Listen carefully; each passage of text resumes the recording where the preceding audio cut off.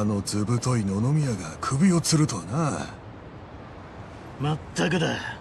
あの立地なら今すぐ町金で5000万借りてでも欲しかったのによ。本当にバカなやつだぜ。金のなる木を持ったまま天国に行っちまうなんてよ。葬式だってのにどいつもこいつも金の話ばかりだな。仕方ねえよみんな喉から手が出るほどソープの営業権が欲しいんだ営業権なんて役所に届けりゃいいんじゃねえのか。今風営法が厳しくてな。学校病院図書館なんかが半径200メートル内にあれば即 NG でこの基準をクリアできる繁華街はこの国にほぼ存在しない。つまり新規でソープランドを開店するのは事実上不可能というわけだ。じゃあ今あるソープランドは？ほぼ全ての店が昭和の時代にオープンした店だ。じゃあ野々宮さんが死んで貴重なソープランドが一軒消滅したってわけか。さっきすれ違った連中が言ってたようにその気になりゃ営業権を高値で売りさばくこともできたはずだ。なんで自殺なんかしたんだろうな。わかんねえ。でも菜の葉さんのこともそうだけど他にも色々と悩んでたのかもな意外と真面目だったし繊細な人だったのかも。真面目で繊細な人？そうかしらね。菜の葉さんか？そっか。お父さんの件も片付いたしな。元気になったんだ。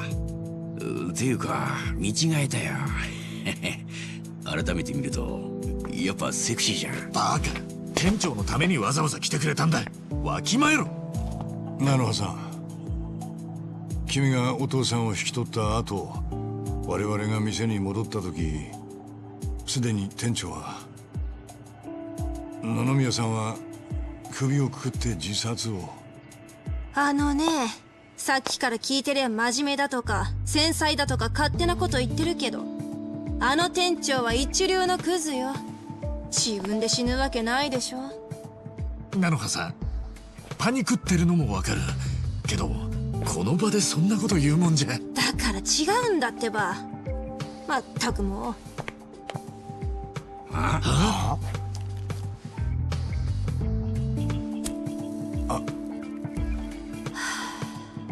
違うって何が私の名前はねサエコ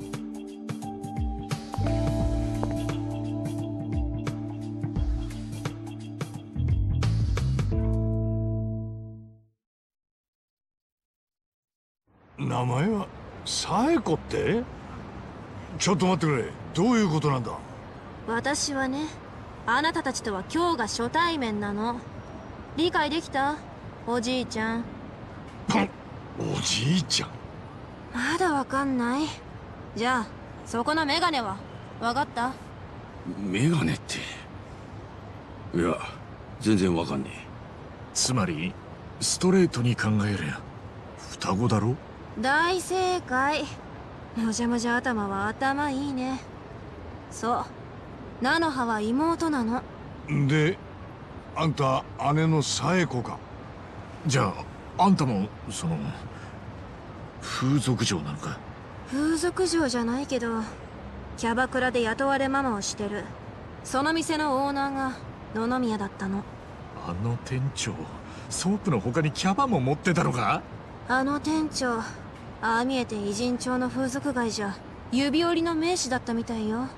だから一応乙姫ランドと私の任されてるキャバクラは系列ってことになるの。えじゃああんたら姉妹で揃って野々宮のキャバと風俗に入店したのか？最初に入店したのは私。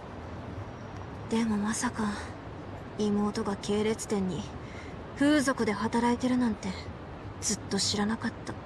知らなかった？そう。妹が乙姫ランドで働いてたのはこの間まで知らなかったのよ。妹がお父さんの介護でそこまでお金を必要としてたってことも知らなかった兄弟だろそれにあんたが先にキャバクラにいたのに？どうしてだ？複雑な家庭事情ってやつのせいでね。私は若い頃に家を飛び出してそれっきりだったから。絶縁状態だったってことか。うん。でもある日妹が乙姫ランドに入店したの。じゃあ店長はそこで二人は身内だって気づいたんだろそりゃ気づいたわよ。双子なんだから当たり前よね。だから菜の葉には会ったその場で私がキャバクラで働いてるって伝えたみたい。でも菜の葉がソープで働くことを私には絶対に内緒にしてほしいって頼んだのよ。絶縁状態だからこそか。ところが何日か前よ。いきなり野々宮から私に君の妹と親父さんがピンチだって連絡があったのヤクザ絡みの介護施設にはめられたみたいだって。ああそこで初めて妹さんたちの事情を知らされたわけか。そう。何年かぶりにね。でも菜の葉に内緒にしてほしいって言われてずっと隠してたのに伝えてきたってことはよほどまずい状況だったんでしょまあでも今はもう大丈夫だ心配はねえよ。そっか。お父さんもあの子も随分世話になったみたいね。だからお礼も言っとかなきゃと思ってさ。春日さんに足立さん。それと難波さん。名前知ってたなら名前で呼べよ。俺らは親父さんと妹の命の恩人だぞ。分かってる。本当に感謝してるって。ありがとう。あんたその後菜の葉さんとは？会ってない。私はこの先もずっと何も知らないままってことの方がいいんじゃないかって思うし。なあちょっといいか？あんたさっき施設のこと野々宮に聞いたって言ったよな。電話か何かで？うん。だとするとそれ時間的にはあいつが首吊る直前ってことにならねえか？そう。死んだ当日。つまり私はあの人が死ぬ直前に直接電話で話してた人間ってこと。なんだって。その上で言ってるの。あの人が自殺だったわけがないってね。あんた店長とはどんな話を？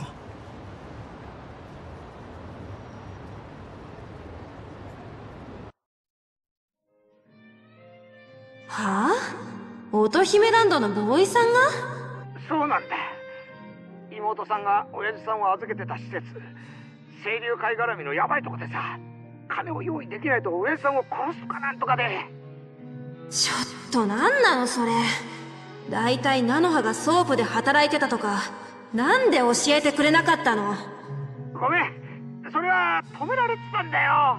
でもこうなっちゃった以上もうさっちゃんに黙っとくわけにいかないと思ってさ。じゃあまとまったお金がないとまずいってこと？でも今私そんなにお金はまあとにかく少しでも集めてみるけど。でも時間がないんだよ。だから新入りのボーイたちが何とかしてくれるって。今は信じるしかないんだ。でもあいつらならきっとやってくれる。そんな連中になんとかできる話なの？大体誰よそれ？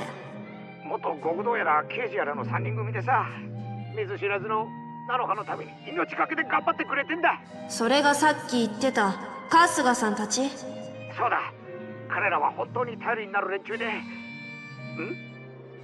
あれなんだ？何？お客さん？ああ多分。ちょっと待ってて。はい。あ誰だあんたら？おおちょちょっと待て。何勝手に入ってんだ？店長？店長？老妈老妈他在这里老妈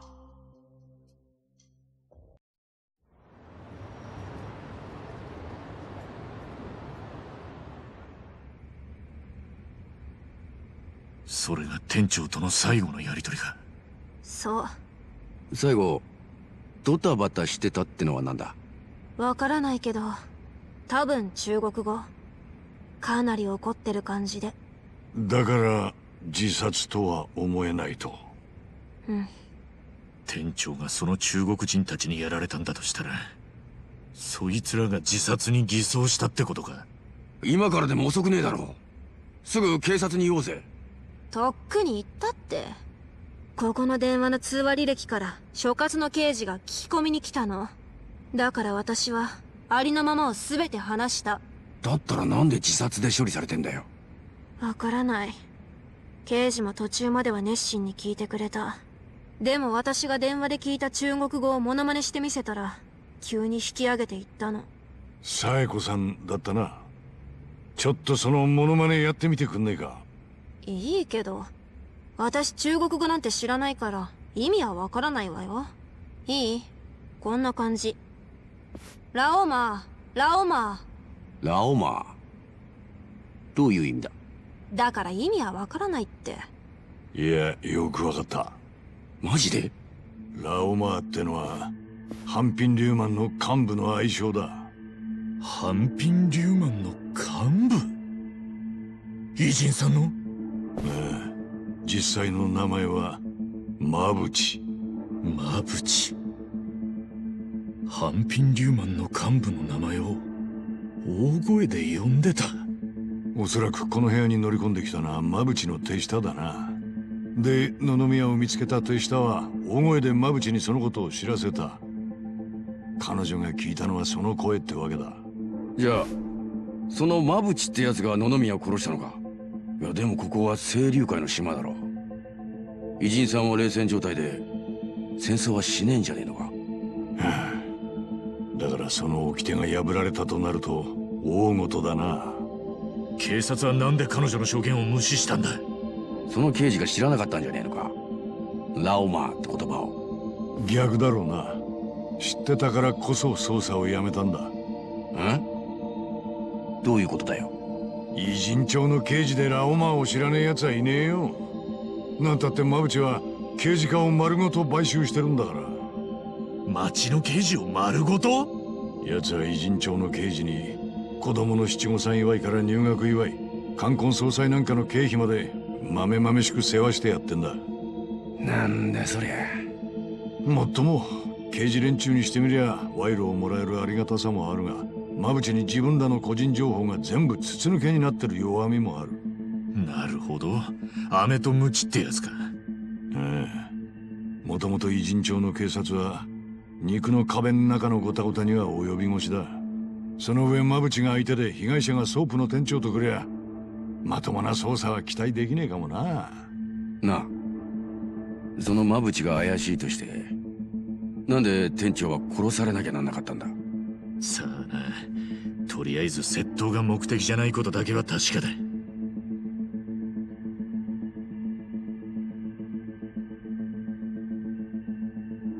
珍しいわねあの店長が大入りを出すなんて。ちゃんと準備しておいてくれてたんだな。俺らのことを信じて。野々宮との電話詳しく教えてもらえて助かったぜ。ありがとうよ。悔しいのよ。なんか。ん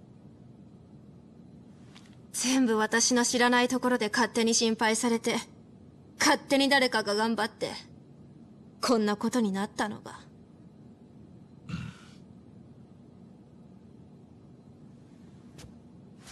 私さ父や妹とはずっと不仲で間を取り持ってた母が死んじゃってからはもう居場所がなくて。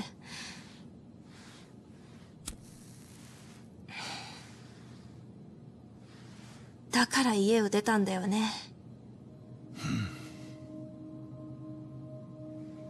ど家族を捨ててきた私に野々宮は曲がりなりにも居場所をくれた。そんな人を私は最後までろくでなし呼ばわりしてさありがとうなんて一度も言ったことなかった。だって急にこんなお別れが来るなんて思ってもなかったから。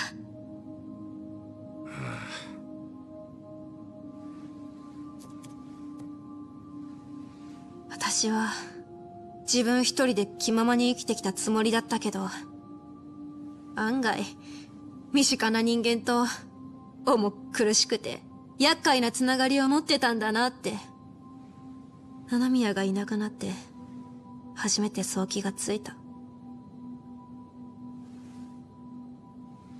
重苦しい厄介なもんか。でもそりゃ絆？って言うんじゃねえのか？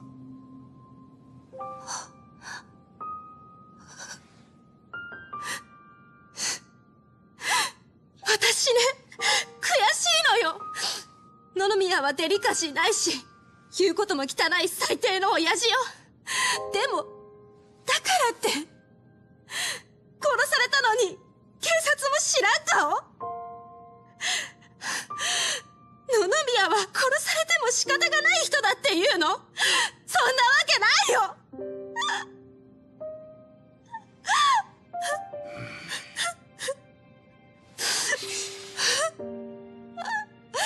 私一人じゃ何にもできない。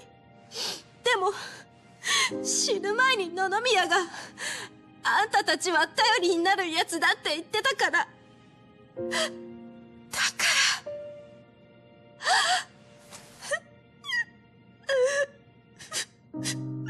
だから俺らに会いに来たんだよな。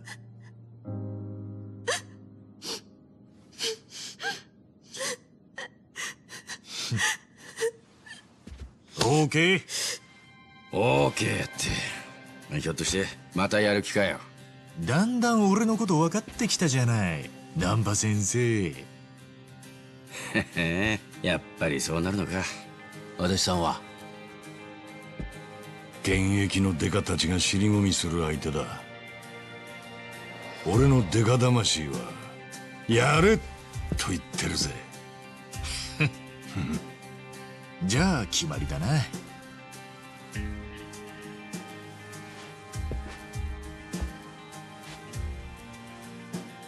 さっちゃん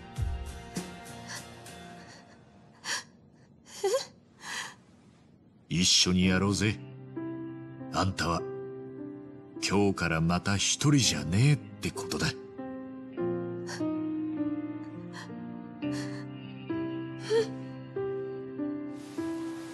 よろしくな。